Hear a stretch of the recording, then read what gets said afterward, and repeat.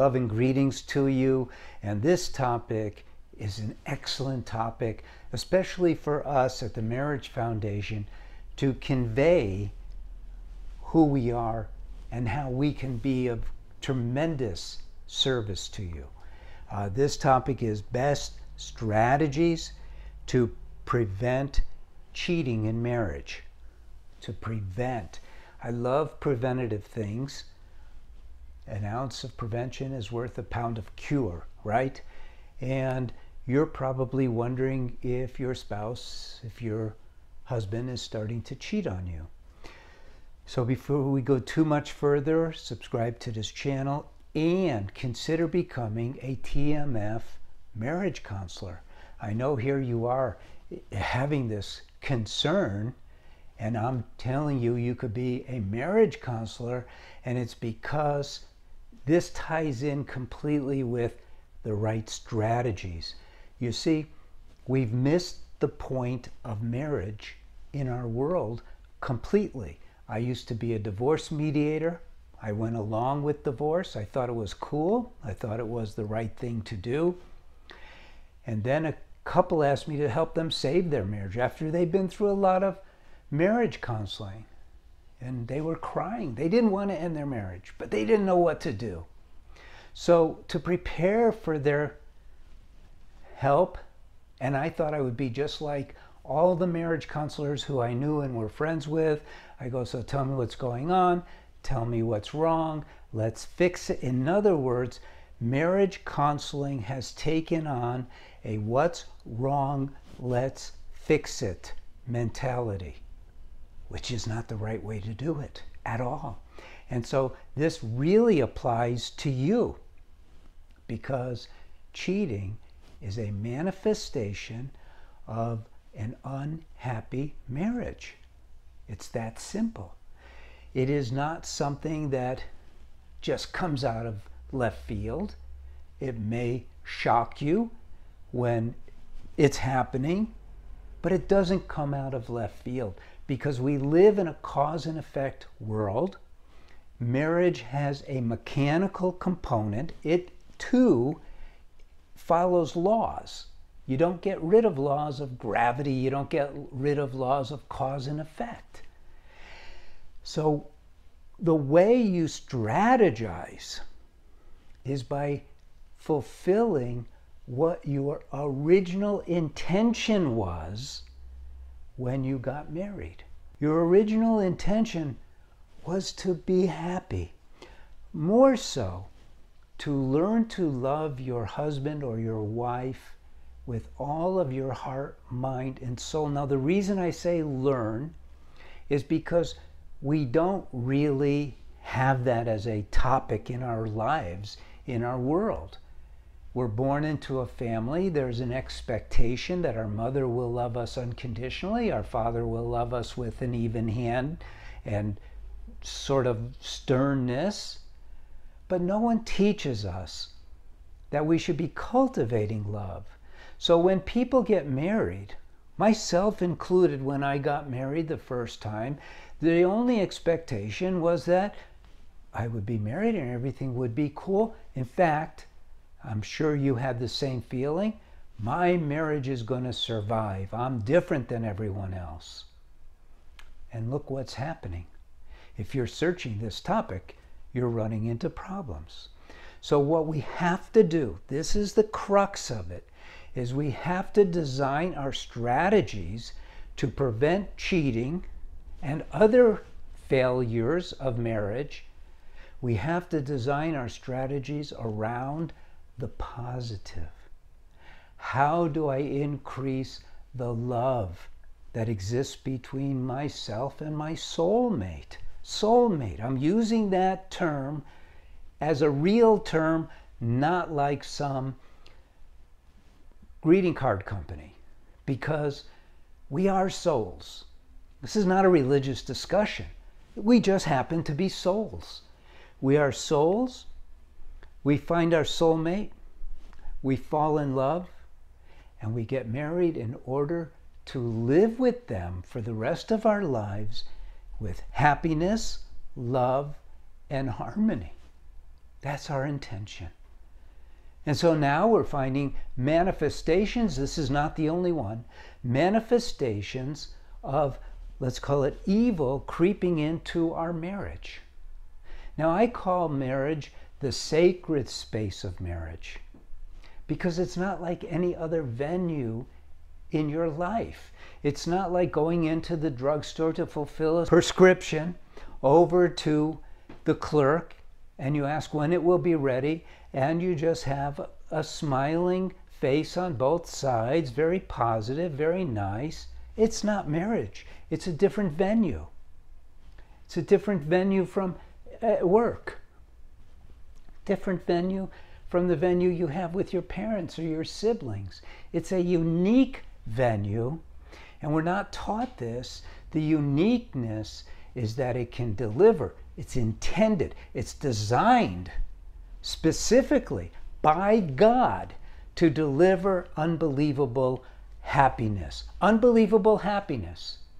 What do you think is the goal of all of us besides to stay out of trouble? In a positive way, it's to be happy. All of us want to be happy. Marriage is the ultimate venue for happiness, but we're not told that. We don't know how to drive our marriage. We don't know how to live a married life.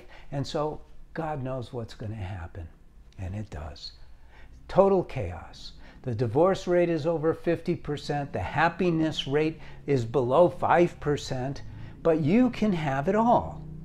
You have to learn how to be married. So your strategy should begin with what the hell is Paul talking about? How, how do I put in more love than I already am? Well, you're not putting in love. You're living in a state of consciousness with your soulmate that is rather mundane. The proof of that is that the love between you is not exciting. It's not better today than it was yesterday, and it's supposed to be. So, your first strategy should be how do I learn to love unconditionally? Now, I'm not going to sell you our course, but that's what we teach in our course. And, and there's, uh, I mean, I'll basically tell you what the course does. That will help you.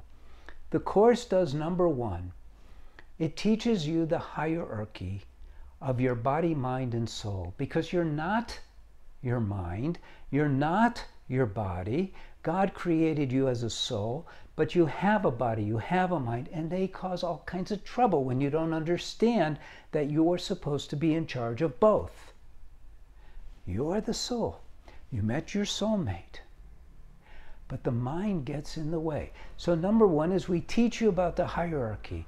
We teach you, and we're the only ones that do this, we teach you how to control the mind as it should be controlled. Think of the mind as a computer that has turned into your boss. Imagine if you're in front of your computer or your device and it says, go here because of a sale, and you just go there. Now, I do too, but it becomes a command.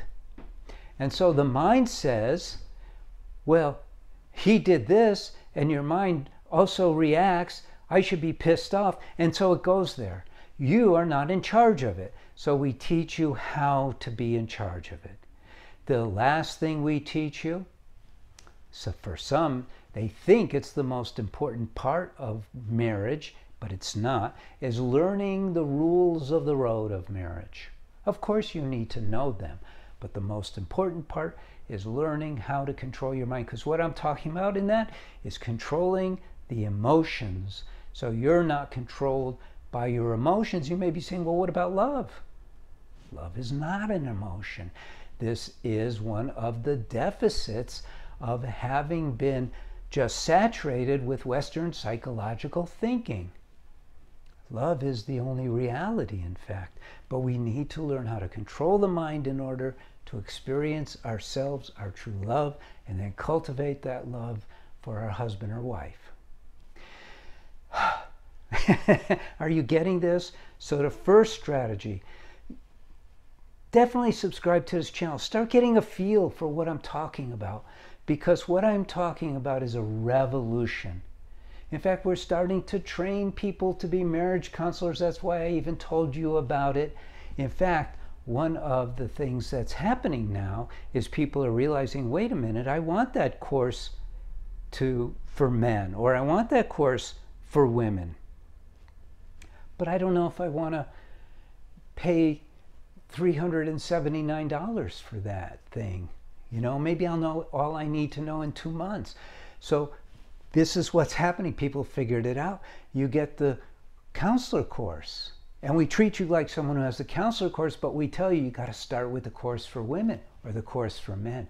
Because if you want to be a counselor, you have to live in happiness. I mean, one of the great things that just blows my mind, always blew my mind, is that people who are not filled with joy become marriage counselors and they're married. How did that happen? How come you don't know how to be married yourself?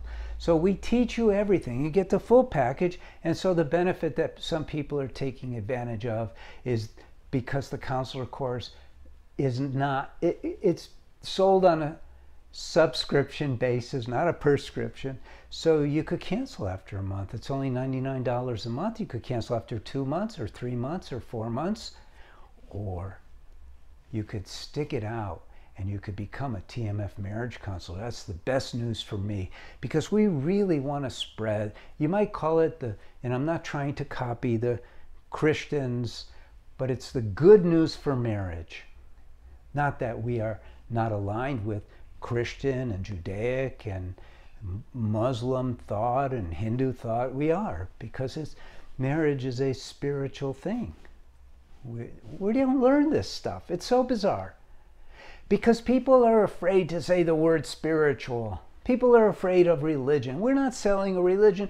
All we're doing is we're teaching you how to live your marriage, how to strategize from the bottom up, not just for this one specific thing. Let's make your marriage amazing. Every day better than it was yesterday. I love that. Every day better than it was the day before. It's so beautiful, I'm telling you. And, you know, we've sold the course now to thousands of people, and we've impacted thousands of families in a very positive way, and we can you too. So you should look at that. But at least just start with the videos. Look at our articles, see what we have to offer. I'm telling you right now, the strategies are there, but tie them to the real desire that you have for happiness, for love, for harmony. Don't come up with these weird, concocted strategies of this or that. This is marriage is not a new age thing. It's a great gift from your own creator. It's all about love. All about love. I'm all about love too. I'm Paul Friedman. I founded the Marriage Foundation. Please like this video. Please share it. God bless you. Take care.